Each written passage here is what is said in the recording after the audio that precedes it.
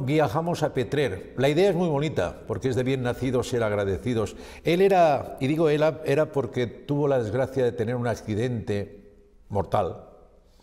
Era el gerente de Metal Loop, ¿se acuerdan ustedes? Enamorado de la fotografía, enamorado de la fiesta, enamorado de su tierra, Elda, Petrer. Y la Asociación de Fotografía eh, de Petrer, la Asociación de la agrupación fotográfica Petrer ha tenido a bien dedicarle una exposición, una exposición que nos comentaba con detalle Pascual, que es su presidente, en recuerdo de Juan Miguel Martínez. Cuánta cosa buena hizo este personaje, que tuvo, como digo, un desgraciado accidente mortal. Pero lo recordamos, no se nos olvida. Desiré Poveda Petrer a esta hora de la mañana, a 15 minutos de la una de la tarde. Desiré, buenos días, cuéntanos esta preciosa noticia. ¿Qué tal compañeros? Hemos venido hasta Petrer, hasta esta sede del Group Photographic de Petrer y me encuentro acompañada por su presidente, por Pascual, en esta eh, nueva sala de exposiciones que hace apenas unos días se inauguró este pasado día 9 de, de octubre. Pascual, antes que nada, gracias por invitarnos a conocer este lugar. Gracias por venir a vosotros. Una sala de exposiciones con muchísimo más significado, ¿no? que va mucho más allá, con ese reconocimiento a una persona tan querida y que ha sido tan importante para todos. Sí, eh, el nombre de, la sala expositiva es Juan Miguel Martínez Lorenzo, que fue nuestro presidente eh, del grupo fotográfico, también hijo predilecto de Petrer, y no había mejor eh, nombre ni persona para ponerle en su nombre a la sala. ¿Cómo surgió la idea de crear la sala? ¿Era por una necesidad? ¿Era porque lo queríais añadir a esta sede que tenéis? Sí, la sala expositiva es, es eh, una idea que teníamos eh, ya de hacía tiempo, que era importante que los socios y socias del grupo Photographic pudiesen tener un espacio para poder exponer. Entonces, qué mejor que en nuestra sede, en la planta baja, a pie llano, para poder, eh, para poder eh, hacer una sala para, para poder eh, ellos, todos los socios que pudiésemos, pues exponer. Lo de ponerle el nombre de Juan Miguel es algo que surgió de forma espontánea, es algo que estuvisteis valorando.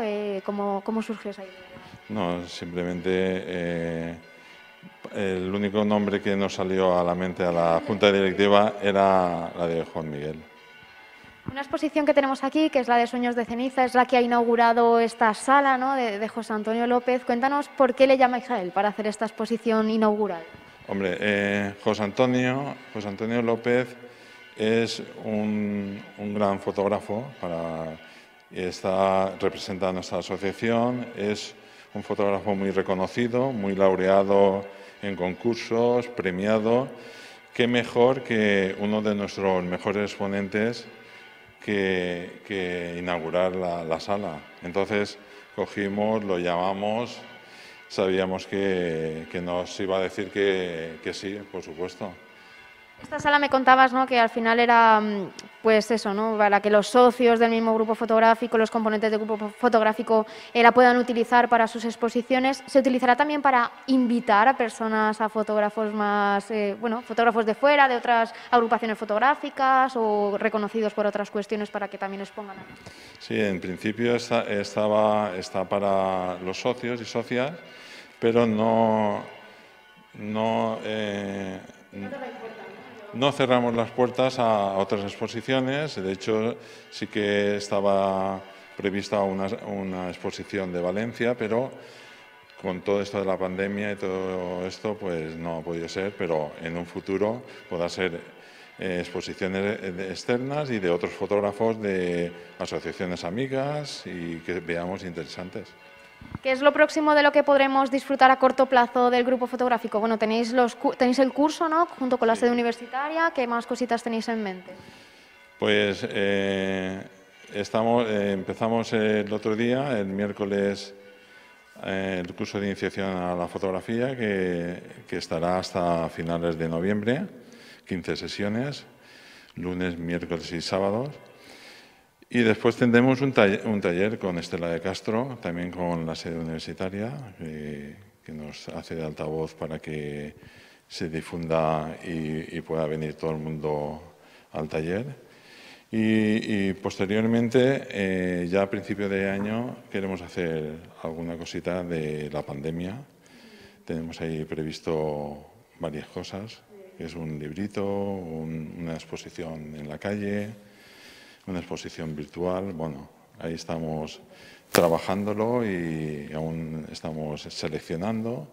Vamos, que estamos activo a tope. Estábamos hace poquito, ¿no? Este verano y ya me decías que había muchas cosas en mente, que durante la pandemia no habéis parado porque habéis estado presentes. El Grupo Fotografía se queda en casa, ¿no? Que teníamos ahí también eh, eh, ese trabajo que habéis hecho durante ese tiempo y desde luego que si tenéis algo para es que no paráis, que siempre estéis activos, que os vemos en todos lados y que eso es importante, que sigáis muy activos y muy vivos porque creo que el Grupo Fotográfico de Petrer está bueno, pues está cogiendo también un nivel ¿no? y un carisma que se está haciendo conocido y que cada vez es más gente la que quiere formar parte de él. Sí, realmente cada vez tenemos más socios, ahora hemos llegado ya a 100 socios. No estamos parando porque eh, todos los jueves nos reunimos por videoconferencia, no hemos parado en todo esto de la pandemia, no, no hemos venido presencialmente, pero no paramos y todos los jueves tenemos una sesión de hora y media con un profesor que estamos viendo autores nuevos, nuevas visiones de la fotografía. Muy bien, estamos a tope. ¿Habrá nueva edición de ese Clip P3, de ese rally fotográfico? Clip P3 eh, ya se cerró en el año pasado y en principio no tenemos en mente eh, realizar otro rally. Estamos, estábamos pensando también hacer, realizar otras acciones fotográficas pero, claro, con todo este parón eh, nos hemos retenido y vamos, eh, sí, haremos algo mucho bueno, más productivo que, el, rally, pero ahí estaremos. Algo haremos. Muy bien, Pascual, muchísimas gracias por recibirnos, por hablarnos de esta sede con ese homenaje a nuestro querido Juan Miguel y muchísimas gracias. Gracias a vosotros. Nosotros devolvemos la conexión, compañeros.